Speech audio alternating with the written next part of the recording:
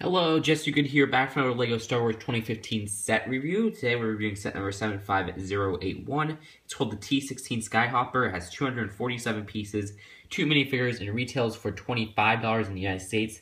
Another one of those sets I got from ToysRUs.com. Now let's take a look at the packaging. And here is the box for a set. It has a $20 box design, which came out pretty cool. And you got the back right there.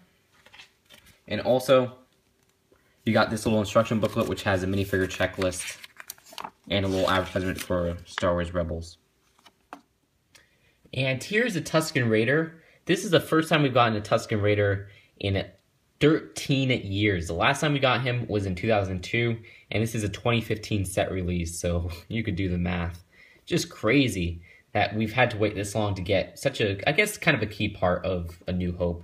They didn't play a huge role, but, you know, they were in there. And I do have the old version. I wish I found the head, but you could just compare to see how much of an update the torso is. So it's very, very welcome as an update. So that's it. I love the nice new molded head as well because, like I said, the old one, I wish I could find the head, but it had just a 2D printing on a regular minifigure head, and it looked really creepy. While this one still looks creepy, at least it's accurate to the movie with the eyes that pop out. Very, very cool. He also includes this little weapon right here, which is nothing special, except for this piece right here, which if you notice, it's the ice cream cone piece in a black color. So that's exclusive to the set in that color, at least so far for 2015. And here is the Skyhopper pilot. He doesn't really appear in any of the movies from my understanding, at least for the original trilogies. I barely remember the prequels. And you can see his torso print has nice front and back printing as well as his helmet, which has some nice printing on the top. Very detailed for a character that's kind of a derivative work. And you can see his front face printing and his back face printing, which is pretty cool. He also comes with a little pistol right here. And here's the Skyhopper itself. It's a pretty big vehicle for a $25 set. And these are used, I believe, in Tatooine, or at least Luke had one. Uh, but they didn't really show it in the movie they did show that he was playing with a toy, I believe, and you could see here's the side. There's some stickers on the side right here and on the little windscreens, which are a very nice piece. And now let's take a close-up of the vehicle. And so here's a closer look at the Skyhopper vehicle itself. Before we get to that, I just wanted to show that they do include this one rat in the set, which I guess is supposed to represent a Womp Rat, which are kind of native to Tatooine uh, which I guess is the setting of this set, just judging by the box and the inclusion of a Tusken Raider. But it doesn't really look like a Womp Rat from the movie because it would have to require a new mold, which I wish they would have included a new mold just to include a Womp Rat. Uh, but they just kind of use the same old rat mold that we've been getting for a while from LEGO. Anyways, let's take a look at the vehicle. So you got some stickers. You got a sticker on the side right there and right here on this window panel. And the window panel itself is actually a really rare piece because we've never gotten this window panel piece, this hexagonal one, in uh, in, in that trans black color. So that's very welcomed, especially for people who build ships like me and a lot of people online. And you could actually lift open this side to reveal the inside where you could fit your little pilot right there, which I already did.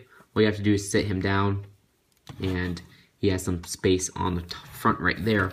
But I also wanted to kind of show inside there's this little sticker um, for a control panel, which looks pretty neat. It may be a little bit too small for scale, but other than that, it's a pretty cool sticker. Um, and that's on a, a two, uh, a double cheese slope. And also inside, there's this little cargo box right here, which you could fit the pilot's little revolver in. Where's blaster? That's pretty neat. And you just kind of fit that back in the middle right there. And you could easily just close this up and move the little window panel like that so it kind of covers it. And on the back, you just got this little engine. And on both sides, you could also flap the wings up and down if you want. This one just came off, but it's on a little bit of hinges, so you could get a little bit of direction on there. So that's pretty sweet. And on the front, you got this little blaster right here, which you can move around on this wheel, but other than that, it doesn't like shoot anything or anything. Just really for design. And then they have these two little missiles, which do shoot if you push down on them. And they shoot pretty far, so you got to be careful of that. And then if you go to the top, you can see there are some stickers on these tiles right here, which are on both sides. And then there's even a sticker on this part right here.